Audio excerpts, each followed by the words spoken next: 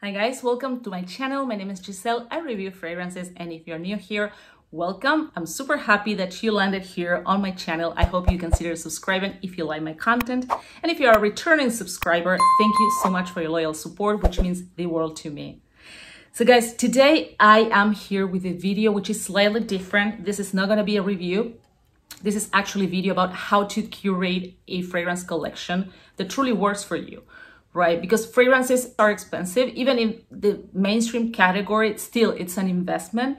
And I want you to be mindful when you make those purchases. So that way you won't regret, you won't feel you're wasting your money, you won't feel like you're an impulsive buyer. And here I am. My lovely subscriber requested this video and I think many people can benefit from so, it. If you're interested in learning more, stay tuned.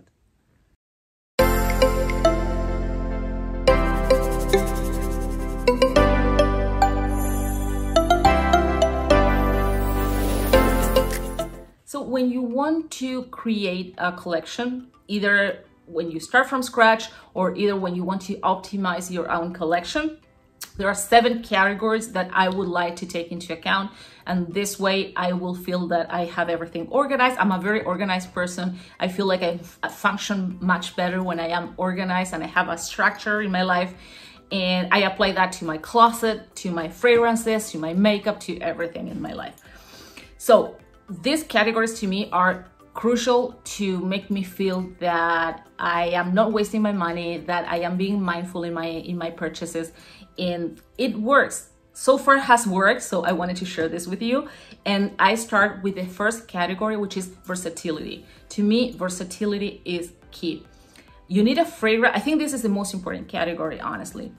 You need fragrances that are easy grabbers, your everyday go-to fragrances, those fragrances that make you feel put together the moment you spray them on, that you don't even have to think about what to wear those days when you don't know what to wear. And you know that when you grab those fragrances, you will look the part. So versatility to me is key. You need fragrances that you can wear to run errands, go to the ballet, to go to a concert, to go to a corporate event, to go to a charity event, to go to the church, so those are the types of fragrances you definitely need in your collection. And I have picked three, four fragrances in each category.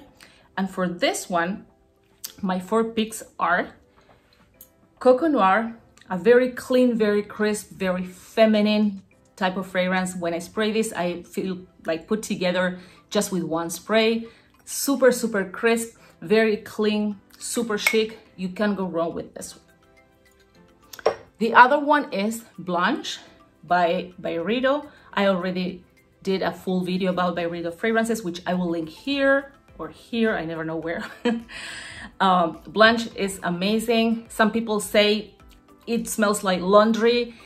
I wish my laundry smelled like Blanche. Come on, it doesn't smell like laundry. But sometimes when you have those type of clean, crisp fragrances, people tend to think it smells like laundry.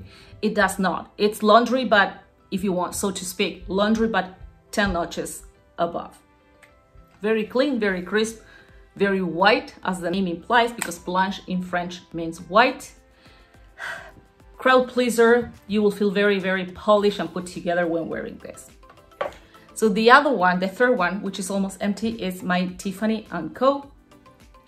This is a very beautiful fragrance. There's nothing groundbreaking here. This Tiffany has absolutely nothing to do with the original Tiffany or with pure Tiffany, which I adore.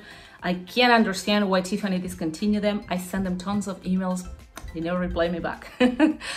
but this is nothing even close to that, but still it's a beautiful fragrance. I like to layer this a lot and it's a fragrance it's an easy grabber. You can go with this one you or any of these four. You can go run errands or you can go to church or to a corporate event as i said earlier. Beautiful fragrance. Yeah it's almost empty. The last one the last and i think this is the most important in this category is molecular one by Escentric Molecules. So i'm going to repeat something that i already said in my previous videos in case you haven't watched them Uh, Escentric Molecules releases their fragrances in pairs. So they have molecule one, eccentrical one, molecule two, eccentrical two, and so on and so forth, all the way up to molecule 05 and eccentrical 5. So the thing is that molecule, whatever number, and the eccentric counterpart are totally different scents. So the molecule something, molecule whatever, is a molecule, while the counterpart is a fragrance that has that molecule in the composition. And they are totally different things. What I'm talking about here is molecule 01 by Escentric Molecules. And this is basically iso e super, that's the molecule. And it, that's also what the fragrance called Not a Perfume by Juliette Has a Gun has. Because technically it's not a perfume, it's just a molecule and it's been designed in a way that it plays like a hide and seek game. So when you spray this, you won't smell it. It will almost evaporate in seconds, but you will still catch whiffs of this fragrance throughout the day. And even sometimes in eight, 10 hours, I could still keep catching this fragrance, whiffs of this fragrance basically. All over. It doesn't matter how much you overspray, you won't have that cloud feeling, but throughout the day, you will get those whiffs, which I love. And people around you will smell it even when you, you won't. But beyond that, it's, to me, it's delicious. It's slightly earthy, slightly woody, slightly mossy, but this is great for layering. It's an amazing fragrance. This will balance out whatever is in excess of. So if you have an excessive sweet fragrance, uh, an excessive like citrusy fragrance or like yeah, especially sweetness, citruses like tart type of uh, scents, or if you have like a lot of earthiness or a lot of woodiness, this will also balance that out. It's an amazing, amazing uh, fragrance. Actually, I consider this a tool, a must-have tool in your fragrance wardrobe. So the second category is fragrances that are safe for a work environment or like an office safe if you work in an office setting. I also uh, did a video. I will link it here so you can learn more about those.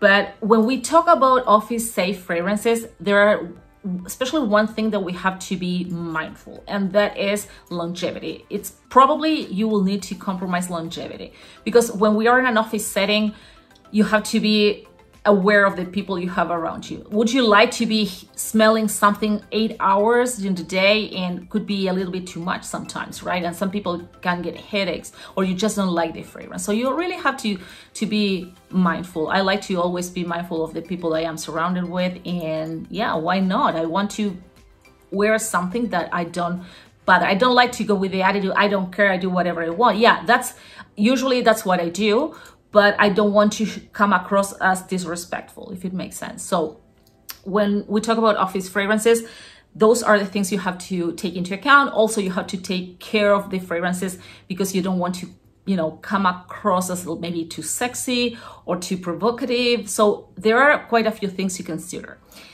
And in within this category, I've picked three fragrances that I've also included in my office safe fragrance videos, which are Gabrielle, beautiful white and yellow florals fragrance, very feminine, super, super nice, crowd pleaser, very, very, I wouldn't say classy, this is not classy, but you will, you will feel very put together wearing this. The other one is Terre d'Hermès. I love it. This is more like a woody, earthy type of scent, slightly masculine, but on my skin, it's very, very feminine. And I have feminine fragrances that are even more masculine than this one. Everything depends on your skin chemistry, as you know. And this fragrance is amazing, massive compliment getter. And it's usually it is a crowd pleaser. And the third one is Fleur de Cristal by Lalique. Look at the flowers you're like floating flowers. Such a gorgeous. Lalique makes, I think, one of the most beautiful bottles. Well, no wonder. It's a crystal brand, a crystal house that's been around forever. And this fragrance is it's amazing. It's super crystalline. It's very clean. I wouldn't say crisp because it's very soft, almost velvety. It has some crispiness, but it's not like Coco Noir, for example. It's not a crispiness like a fresh laundry just that you just pick up from, you know, the dry cleaners, for example. This is feminine. This is chic, put together, very, very, very crystalline. This is like clear water. and this is how the fragrance smell. If you could make an association with colors and, and textures, this is how this fragrance smells. It's, it's beautiful. White flowers all over the place. So guys, the third category is my special occasions slash events category or day nights or when you want to be the center of attention you want to be the queen of the event you want to knock everybody's socks off you want to feel like red carpet ready well we need fragrances for this category as well right and i have my four here my first one is Versilia Oro by Profumi del Forte. I talked about this fragrance before. It's a stunner, it's a vanilla bomb. It's also very fruity with prominent strawberries. Special, this is perfect for, for day nights, especially in the winter months or colder months. Stunning, stunning fragrance. My other one is none other than Italica, the queen of the gourmands. Stunning fragrance. I will link the video. I did a full video about uh, a review of just Italica. Don't miss it. Stunning fragrance.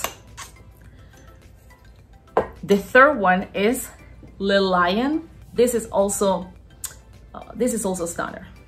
This fragrance is super, this is a hit or miss. We have people who hate it and people who love it. I am team love. I adore this. I have, it's like such a such a massive compliment getter for me. People literally ask me and stop me what to ask me what I'm wearing, even with face mask. It's super, super potent. It's it lasts like 12 hours. This is one of the two or three fragrances I have in my collection that is such a beast. I love it. It's very different. It's different from anything I have ever smelled before. And again, this is a hit or miss, so don't blind buy this one. Buy a decant or get a sample in the Chanel boutique. But it's if you like this, I'm sure you will love it. But if you don't, you will hate it, I'm sure. And the fourth one is Red Oud by Montale. This is such a gourmand. This is such a beautiful fragrance. This is, when you want to feel like red carpet ready, I think there's nothing like this one. This is unbeatable. This one and Italic, well, all the four. That's why they made it to, to this category in this list.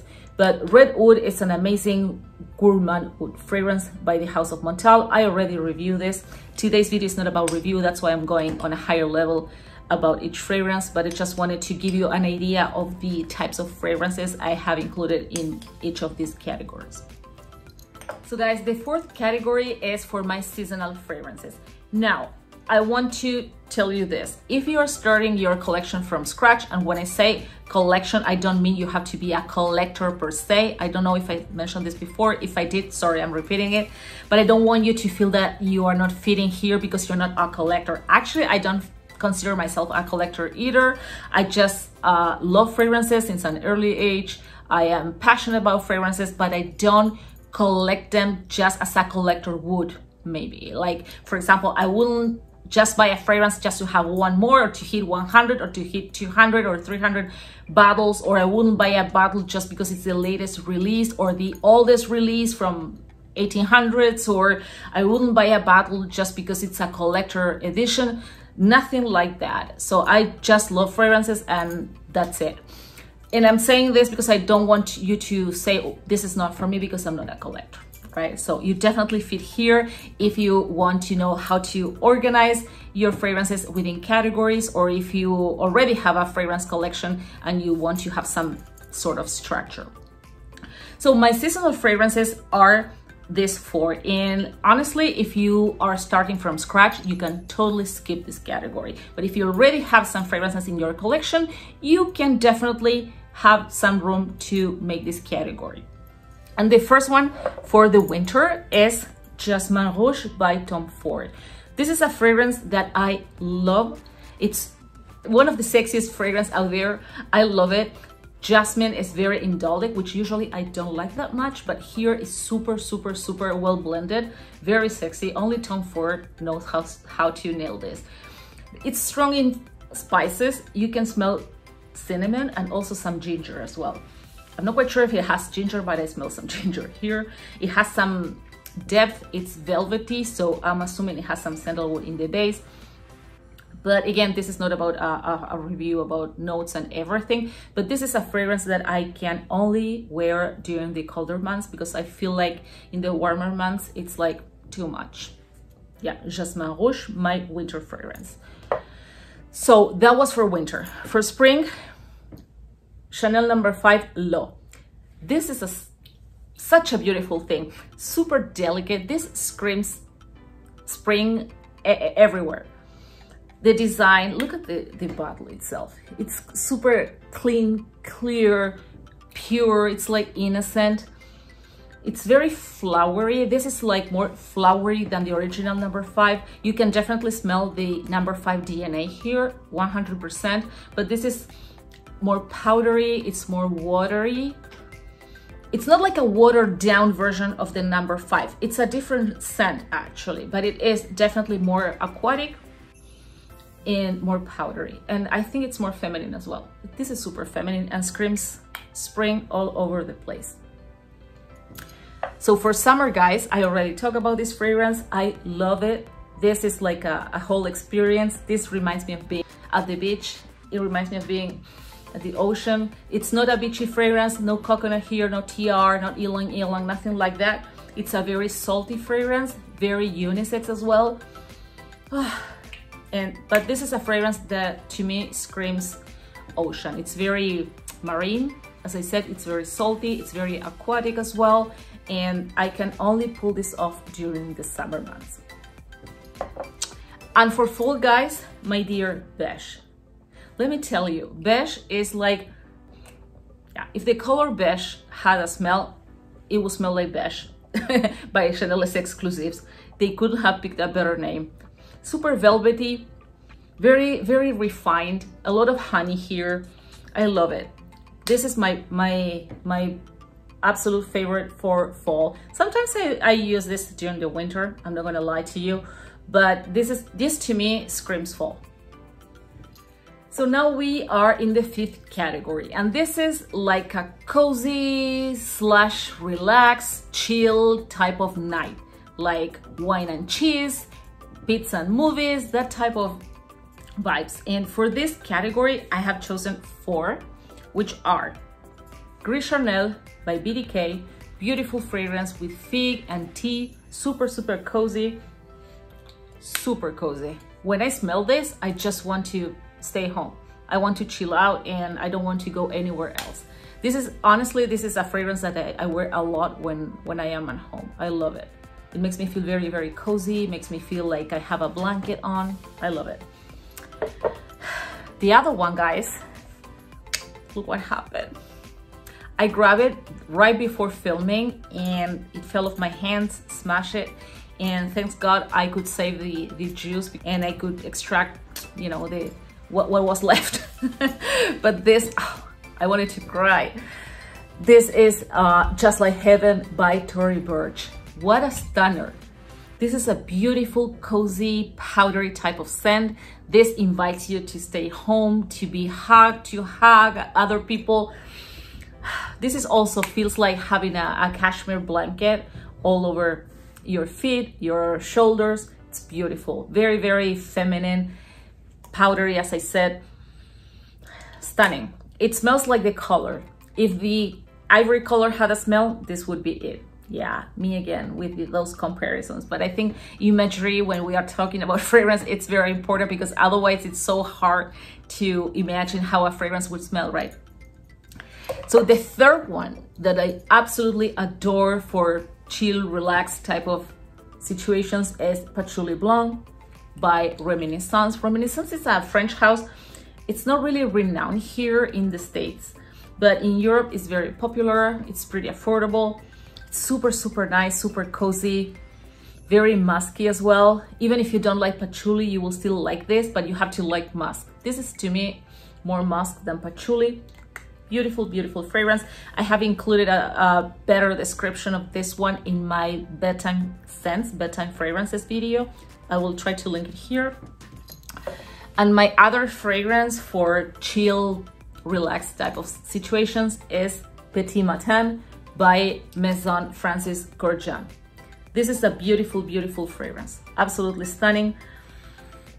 Also, this is a morning type of fragrance. Those type of fragrances you would wear if you wake up at 5 a.m., this one.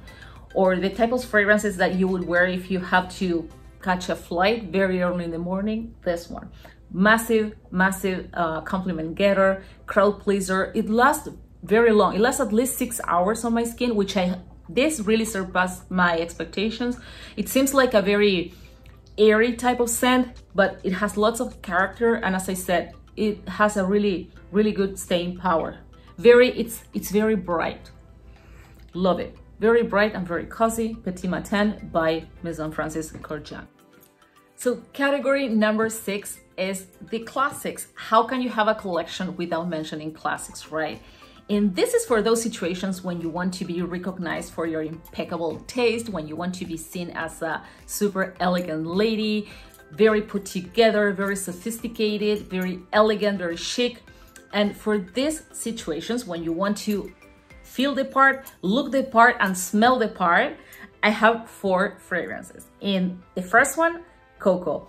This is the vintage eau de toilette, which I was and still am. I'm very obsessed with this one and it's delicious. It has nothing to do, to be honest with you, with the eau de toilette we find nowadays. This actually, it's very similar to the eau de parfum, but it performs better than the modern eau de parfum. But don't compare it with the modern eau de toilette because nothing, nothing to compare. They don't come, even come close. This is a splash because it's a vintage version. I already talked about this before. Stunning fragrance. You can never go wrong with any Chanel fragrances, but I think Coco, I like it. I think this is my favorite from the Chanel collection among the classics. I like it much better than number five. Again, this is a, uh, a vintage eau de toilette, which I adore, and you have to have a Coco in your collection. So the second one, it's some, it's a fragrance I will, I will never get tired of talking. Is Eau du Soir by Sisley. This is the epitome of class. I always say this because there's no better way to describe this fragrance. Absolutely stunning. It is slightly, but slightly vintagey, but as vintagey as Coco could be or Chanel number no. five could be. And although it's vintage, you will never be out of style, if it makes sense and it's not really vintage at all. I think Chanel has more vintage DNA than this one. This is mature, this is refined, this is chic, this is classy, but it's not mature or vintage in a way that smells like an old book, if it makes sense. No, this is stunning. Stunning, stunning, stunning, massive compliment getter for me. So the third one is Lauro by Parco Palladiano, number five. So Parco Palladiano actually is like the niche or reserve line of Bottega Veneta.